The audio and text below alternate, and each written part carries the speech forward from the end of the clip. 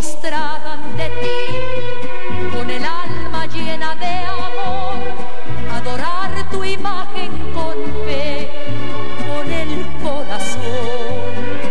Cuando vine al mundo, tu templo fue el primer lugar que yo conocí.